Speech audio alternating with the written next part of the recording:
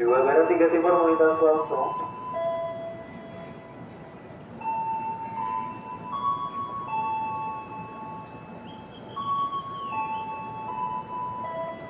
Dari arah timur juga ada kereta api peti kemas, teman-teman.